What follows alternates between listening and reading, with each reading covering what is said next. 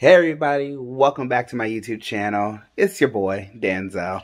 Yes, I know. I haven't did a video in a while, and I'm sorry. But at the same time, graduation is like literally one week away, and I am so excited, and I've just been literally caught up with so much stuff going on um, between work and literally just trying to graduate. Like, well, technically, I'm already ready to graduate because I finished at the beginning of this month, and now it's just like just really the countdown just happening right now. But um, literally, it's just been just such a busy time within the last couple of weeks, and really just trying to get things in order as I begin the next chapter of my life. But um, yeah, so I'm back here with another video. The reason why I'm standing up in front of my door is because the area that I would normally record at, my mom kind of took over. And don't want y'all to see all that. So, yeah, there's that. But make sure you guys hit that like button, hit subscribe, share this video, and let's get into it.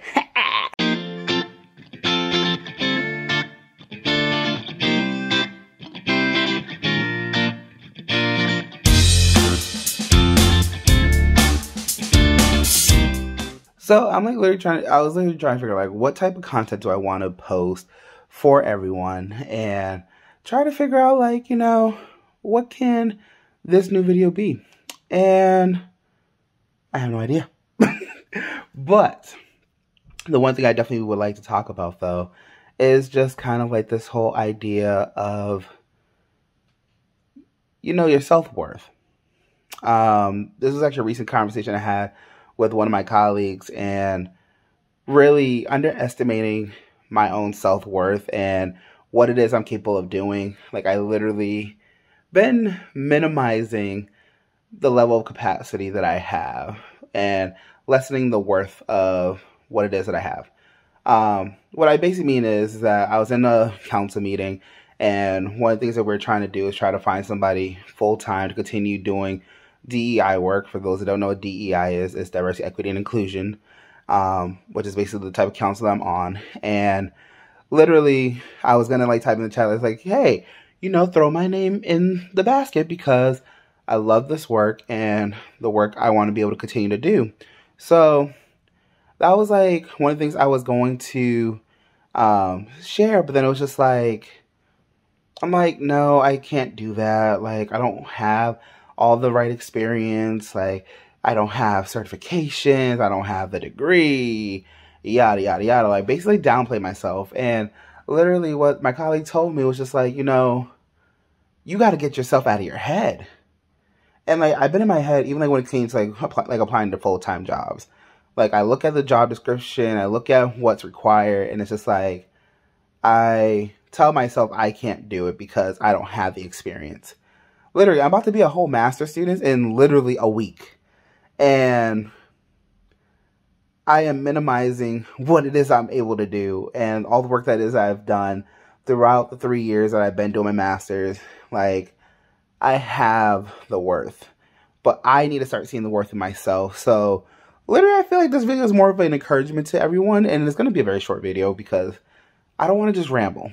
But, literally, don't play yourself. We stop ourselves from getting to success. We stop ourselves from seeing the best in our in ourselves. And what I like to encourage you, I want to give you guys three tips. Number one is know your worth. Don't let anybody tell you what your worth is because you should already know what your worth is. That goes for how much you get paid, the jobs that you do. Know your own worth. Number two, keep a tight knit circle that will continue to encourage you and remind you what your worth is. Because again, the only person that can stop you is you yourself. Nobody else can. And number three, just go ahead and do it. Literally, just go ahead and do it we got to keep our heads up. We got to keep it going and know our worth. So, I mean, again, I want to keep this short because I really didn't have an idea of what to really do. But yeah, so know your worth, y'all. And again, I'm sorry for the delay, but I got I have some amazing stuff that's going to be happening um, during. Uh, actually, this is the first month of May, so really quick, I want to shout out to all my Asian brothers and sisters. Um, happy Asian and Pacific Islander History Month. Um, celebrate you, celebrate your culture, and definitely if you have friends that are identified as being Asian, Asian American in the Pacific Islands, so on and so forth, um, take a moment and learn about them, explore their culture. Don't um, well, um, words, but um, let's cancel that out. But yeah, so happy Asian Pacific Islander month. Um, and to all you guys again, know your worth. So, short video, as I said before. But again, make sure you like, subscribe, turn on your post notification, follow me on all my social media. All that will be linked down in the description box below.